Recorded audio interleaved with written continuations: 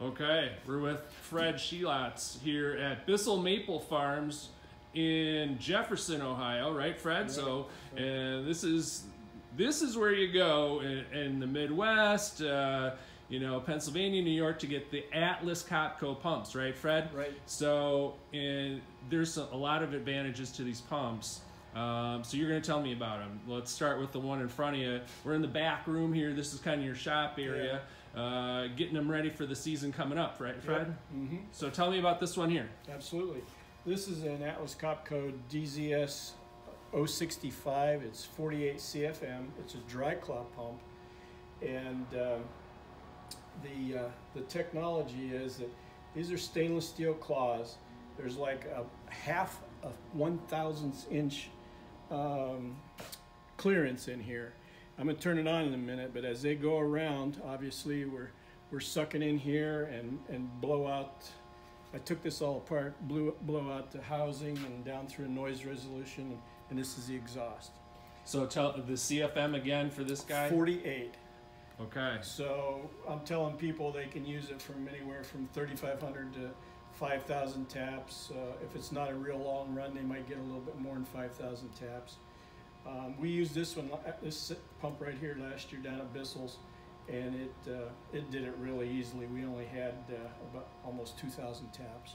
So I'm going to use it again this year, uh, and we're adding on 500, and it, it should do it, you know, very easily. Remind everyone what a CFM is.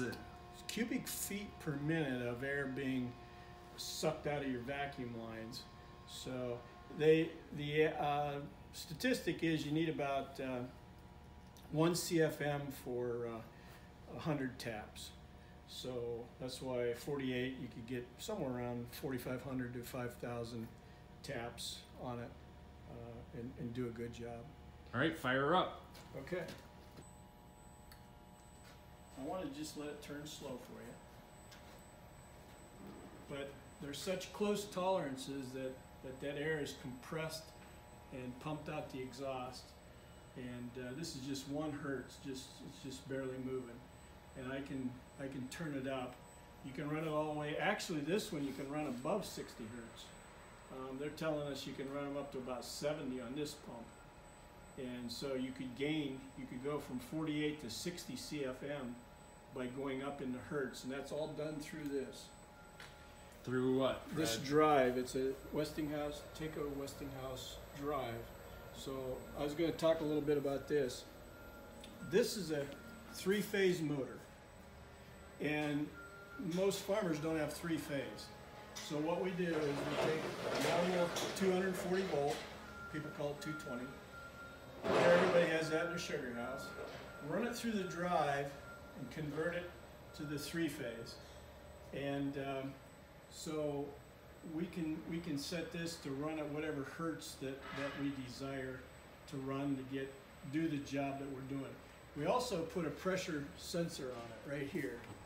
And so um, what we do is we can program this drive so that once your woods comes down to 27 and a half inches of vacuum is about as much as you can get out of a dry claw. That's just the way they're designed.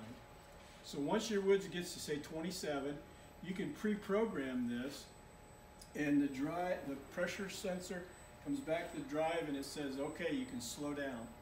And so it'll cut it back to whatever you want to maintain your 27 inches on the woods. Saves saves energy.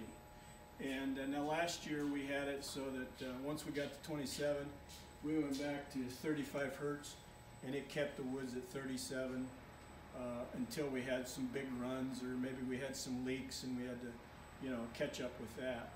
So now the first year we used, we actually used that bigger pump the first year down at Bissell's, but I ran that pump on a 20 amp breaker with a piece of number 12 Romex wire, which is what you wire your house with, and uh, we saved 50% on our electricity.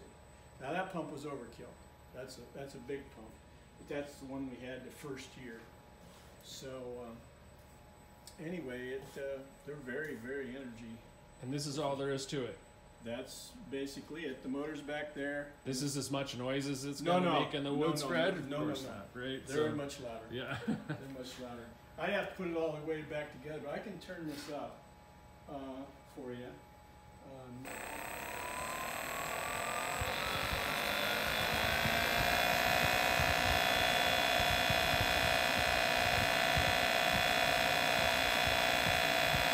you feel the air blowing out? Should be. I've got a plate over here.